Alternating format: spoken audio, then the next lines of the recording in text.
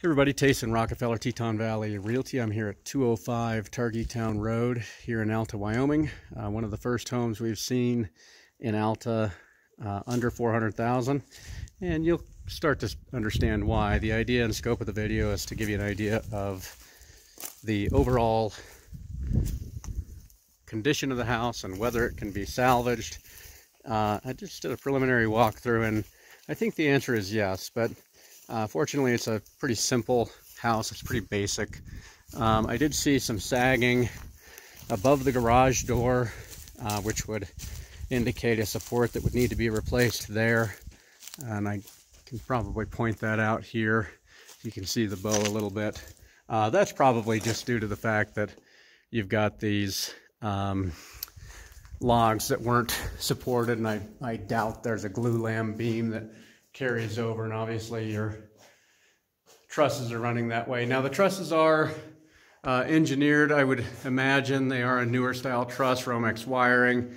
This house is probably an 80s house. It's just been, uh, has not been maintained. Uh, fortunately, it's easy to rip everything out. I assume these are uh, two by floor joists.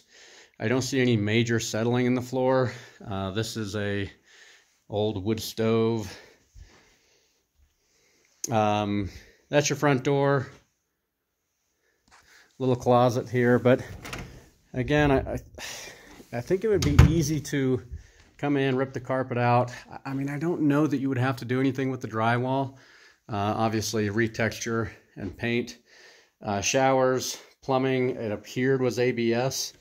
Um, bedrooms here are relatively small, 10 by 10 or so, but you know, for a basic cabin type home, uh, good uh, sandblast or media blast on your exterior logs.